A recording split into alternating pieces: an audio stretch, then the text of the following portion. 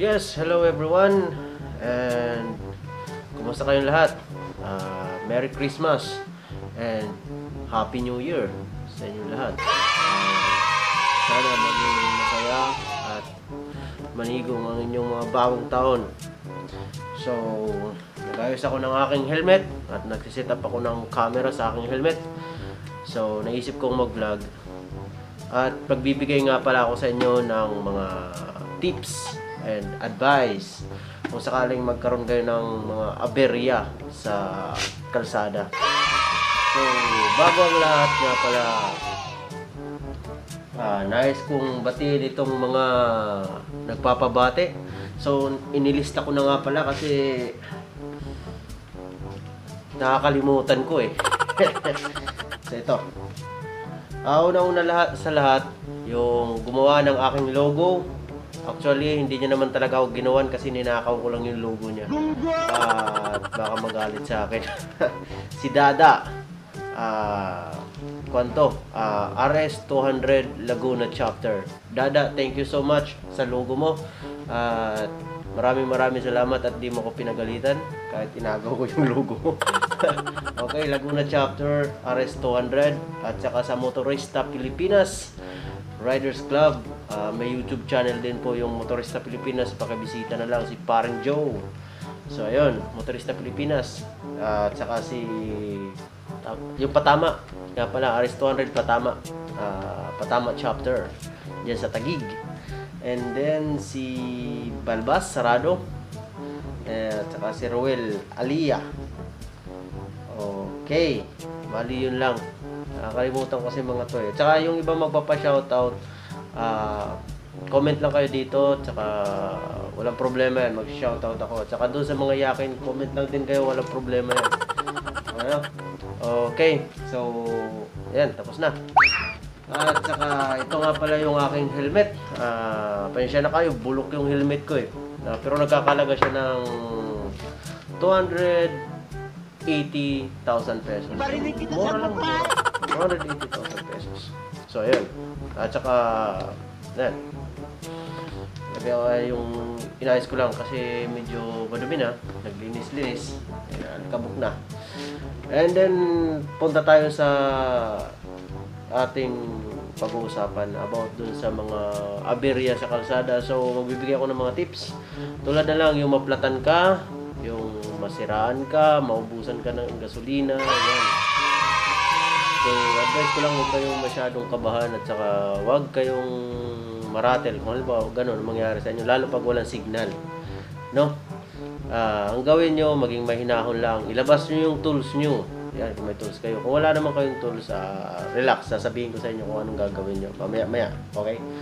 So, ito. Una sa lahat, ah, minsan bumabaha, di ba? Lalo pag bumabaha yan. Ah, kailangan mo talaga ng speedboat. Gunggong! Barinig kita sa mukha eh! no? Pag may ba, tumawag ka na mag-order ka ng speedboat, ah, yun yung solusyon dun sa dun sa problema mo. Ano? At saka kung sakaling masiraan ka sa kalsada, yan. ah, si- tumawag ka ng mekaniko. Pag wala kang signal, iwanan mo na lang yung motor mo. Yo! Ang iyo! Adik! Yo! Mangoloy! No? Sumakay ka ng bus o kaya ikarga mo sa mga tracking yung motor mo. Yun yung mga pambihirang technique. Yun yung mga tinatawag na pinagbabawal na technique. Ano? Tinuturo ko sa inyo paano. So ayan, kung masiraan ka, yung motor mo ikarga mo sa truck. Kung ayaw kang pasakayin, edi maghanap ka, mag-angkas ka ng motor, iwanan mo muna yung motor mo sa daan, saka maghanap ka ng mekaniko. Yan, kasi walang hihinto sa iyo diyan kung kuan, walang mekanikong dadaan sa iyo. Walang mekanikong lalapit sa iyo diyan, kundi ikaw ang lumapit sa mekaniko. Tutang na mo! Hayop ka! Busit ka! Shit! Adik! Yan. Saka kung may mga konta ka, saka pwede mo silang tawagan. Yan. So, paano kung maubusan ka ng gas, no? So, ang pinaka number one, pinaka safe na gawin mo pag naubusan ka ng gas, itulak mo yung motor mo papunta sa gasoline station. Gunggong! Barinig kita sa mukha eh! No? Yan yung bright idea na pwede mong gawin. No? Wala nang iba pa, kundi itulak mo yung motor mo papunta dun sa gasoline station. Paano mo itulak? Yan. Kumuha ka ng taong o kaya nakamotor. Parahin mo sila tapos ipatulak mo, no? Patulak mo yung motor mo. Kaya ito ko lang yung paa ganyan. no? Hoy! Stop! Stop! Yan, ganyan na ganyan. So, tsaka ito pa, paano kung maplatan ka? So, kung maplatan ka, ilabas mo yung tools mo. Yan, number one, ilabas mo yung tools mo. And then, tanggalin mo yung gulong mo, magpara ka ng tricycle, para ka ng jeep. Punta ka sa mga ah, vulcanizing shop. Ipa-vulcanize mo, saka mo balikan na lang yung motor mo. Ano, di man yan mananakaw kasi walang gulong eh. Hindi man tatakbo yan. Ano, buhati nila yan. Maliban na lang kung masiraan ka sa Maynila kasi kahit katay na yung motor mo, bubuhatin yan. Pero mga probinsya-probinsya, di papansin yung motor mo dyan. Baka, baka mangyari, lagyan pa ng kumot yung motor mo Gunggong! Barinig kita sa mukha eh! para di lang manakaw. Yan. Ganyan kabait yung mga probinsyano. So, ayun. Yan, kung may baha, ah, tumawag ka ng speedboat, kumuha ka ng speedboat o kaya mga bangka dyan, sagay mo yung mot- motor mo, papunta sa tawid sa kabilang pampang. Yan. So, pa, may gas kung walang gasolina yung motor mo, mabusang gasolina, itulak mo yung motor mo. Yun yung pinaka-safe na dapat gawin, itulak yung motor papunta sa gasoline station. Kung, ay, kung ayaw mo naman magtulak, magpara ka ng truck, ikarga mo yung motor mo, at saka dalhin mo papuntang gasoline station. Pwede mo rin, pwede ka rin magpara ng mga riders dyan, tapos ipatulak mo yung motor mo. Yan. Gamit yung kanilang mga paa. Ganyan ba, ganyan? Yung! Yo! Ang iyo! Adik! Yo! Mangoloy! So, tsaka kung maplatan ka, yan, pabulkanize mo, tanggalin mo yung gulong mo, dalhin mo sa vulcanizing shop. Kasi yung vulcanizing shop, hindi lalapit sa'yo yan. Ikaw ang lalapit sa vulcanizing shop. Ano? Okay, ngayon maliwanag na. Alam nyo na yung dapat nyong gawin. So, huwag maging bobo sa kalsada, no? Huwag yung pag-banking-banking ka dyan. Ay, ampas mo yung ulo mo dyan sa mga poste. Yung mga poste ngayon, wala na sa gilid ng kalsada, nasa gitna na. No? Hindi nyo napapansin. Ang dami-daming mga bagong widening na kalsada dyan. Yung mga poste nasa gitna. Nag-widening pa. Yung poste lang din naman, nasa gitna ng kalsada. So ito pa mga katropa, may isa pa akong technique na ituturo sa inyo. Kung wala kang panggas, yan. Punta ka ng gasoline station. No? Tuturuan ko kayo ang te- technique na gagawin nyo. Ito, mga pinagbabawal na technique to. Hoy! Stop! Stop! Ituturo ko sa inyo.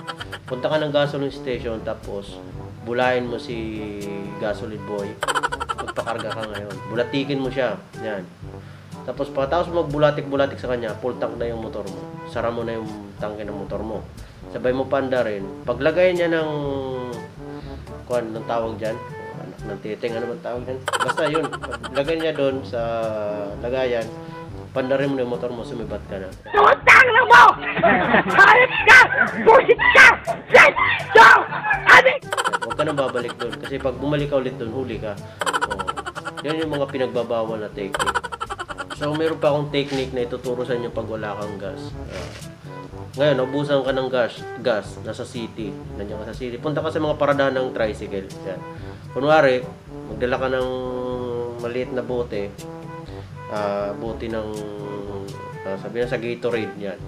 Bit-bit mo doon sa mga tricycle driver kunwari, makikiupo ka lang, pero buksan mo yung drain plug ng kanilang gasolina. Yan, daan-daan na tutulog papunta doon sa kon hanggang mapuno yung kon. Pero wag ka lang papahuli, Brad, kasi pag nahuli ka, alam mo na mangyayari sa'yo.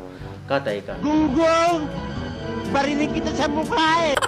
No? Yun yung mga pinagbabawal na technique. So, meron pa. So kung ayaw mo ma ayaw mo ng kuan, kung gusto mo eh, mabait ka, hindi mo kaya magnakaw, ano? Kasi yung mga technique na yun, eh, pinagbabawal. Ito mayroong mayroong technique na pwede. Wala kang gasolina, wala kang pambili ng gas. Punta ka ulit doon sa mga gasoline station, ah, sa mga tr- tricycle, paradahan ng tricycle. Yan, sakay ng tricycle. Maraming tricycle diyan. Magmakaawa ka doon sa mga tricycle driver. Sabi mo, kuya, baka pwede naman pa kung tigi isa isang patak lang kasi walang wala talaga baka maawa na lang sa'yo bigyan ka ng dalawang patak mo hanggang mapuno yung kuhan mo na makalis ka makauwi ka sa inyo ano? tsaka sa susunod huwag ka na mag motor kung wala ka pambili ng gas okay Yo! Ang iyo! Adik! Yo! Mangoloy! Okay? Ibenta mo yung motor mo, ibili mo ng gas. Saka, so meron pa ako palang isang tips para doon sa baha, no? So kung baha, ah, napapansin nyo parati kayo ay yung parating kayo yung sumasakay sa inyong motor. So, pagbigyan nyo naman yung motor nyo na kayo naman ang sakayan niya. Buhatin nyo, buhatin nyo yung motor nyo, tawid kayo dun sa tubig baha. Buhat-buhat nyo yung motor nyo para naman mapakinabangan din kayo ng motor nyo. Hindi yung parati na lang kayo yung sumasakay sa motor nyo. Maawa naman kayo sa motor nyo, ano? Hindi yung ilulusob nyo lang sa baha, nakasakay kayo. Eh, mangyari naman na kayo naman yung sakayan ng motor nyo. Yan. Lagay nyo sa likod nyo, gawin yung hover sa tawid kayo sa tubig baha. Gunggong! Barinig kita sa mukha eh! So, yun yung magandang idea para sa tubig baha. Para hindi kayo masiraan ng motor, hindi mapasukan ng tubig yung mga carburetor nyo o kaya yung makina nyo. Yan, para di mamuti ang mga langis nyo. So, yun yung idea na pwedeng pwede para di kayo ma-aberya sa tubig baha. Ah, kargahin nyo yung motor nyo. Di ba? Napakagandang idea. So, paano naman pala kung halimbawa wala ka ng pambiling langis? Yan. Ito naman ang idea na may bibigay ko sa inyo, yung about sa langis, ano? Ah, wala ka pambili ng langis, pumunta ka sa kusina nyo, ayan. Tanong nyo kay nanay nyo kung may tira pa siyang langis na pamprito sa isda o sa karne. Yung piniprito sa bahay nyo. Gamitin nyo muna. Sabi mo, yun muna yung gamitin nyo pang samantala kasi wala kayong pang bili ng langis yan sa motor.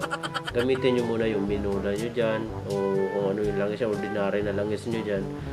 Pwede pwede yan mga brad. Ginagamit yan. Ginagamit yan ng iba. Kasi yung iba, nagtitipid. Yun ang ginagamit nila. Langis. Langis ng nyog. Para umandar yung mga motor nila. Yun. Yun yung magandang idea para sa langis.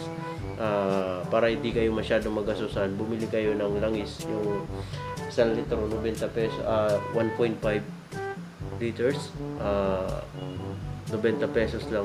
Laking tipid nun. No? Pang, sa pang-araw-araw. Yo! Ang iyo! Adik! Yo! Mangoloy! So, paano naman pala kung mapundihan kayo ng ilaw ano, sa daan? Ma- wala kayong kwan kasi kadalasan ngayon yung iba nakapang lead light na puti yung ilaw, di ba? Ah, paano kung mapundihan kayo no? wala kayong lead light? Mahal pa naman yung lead light, nasa 650, 750, ganyan. Oy! Stop! Stop! So, meron ako sa inyo ituturo. Gusto niyo ng lead light? Ah, ito. Merong bulb dito, 75 pesos lang. Ayan. Maganda to pang Tutang na mo! Hayop light. So, pwede to LED din to eh, puti. Pwede to sa motor nyo. Papalitan nyo lang siya ng socket. No? Ng receptacle.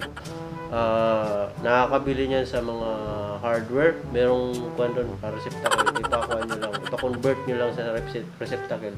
So, napakamura ng bulb. Di pa to basta-basta maapundi. No?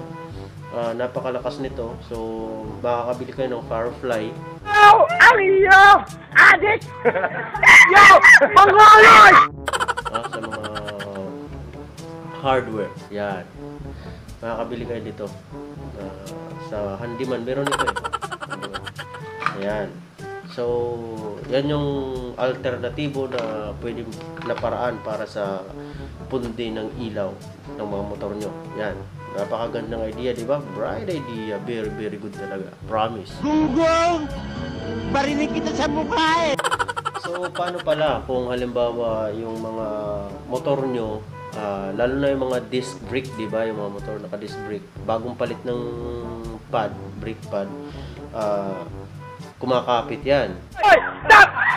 Stop! Ah, pag preno mo, ayaw nang bumuka, ah, masikip. No, hindi ka makaahon kasi masikip yung brake pad mo. Yan, yung brake mo. Ah, disc brake yan. Sprayan nyo ng WD-40 para dumulas. Yan.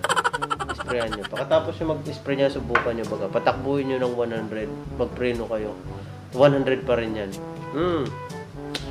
Takbo kayo ng 100. Pag preno nyo, kahit apakan nyo ng preno, 100 pa rin yan. Hmm. Sinasabi ko sa inyo, madulas na madulas yan. Hindi walang kasabit-sabit. Kahit apakan nyo ng apakan yung preno nyo, hindi yan kakapit. Yun yung alternatibong paraan para maiwasan nyo yung pagkapit ng disc brake nyo sa brake pad. Napakagandang idea. Tutang na mo! Hayop ka!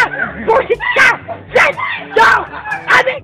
Ah, at saka balik nga pala tayo dun sa about sa ilaw ng motor natin, di ba? Ah, na-i-advise ko pala tong valve na to. Ayan. So, ganitong receptacle lang ipapalit nyo dun sa headlight nyo. Yan, para makakumasya siya. Yan. Kasi malaki kasi ang trade nito eh. Yan. Ito yung ilagay nyo dun sa headlight nyo. Tsaka ganitong wire din ipalagay nyo para di siya masunog, no? Iwas sunog. Kasi yung mga bagong mga China na, ano, na mga wire ngayon, madaling masunog. So, ganitong wire ang bilhin nyo. Yan, matigas hindi siya masunog kasi isipin mo yung kuan nga yung mga makina yung mga welding machine hindi nga nasusunog to eh so hindi to masusunog sa motor nyo tsaka ito napakadali kasi walang pundihan ang tagal nito mapundi no Ah, very bright idea tsaka walang ka pro problema Gunggong!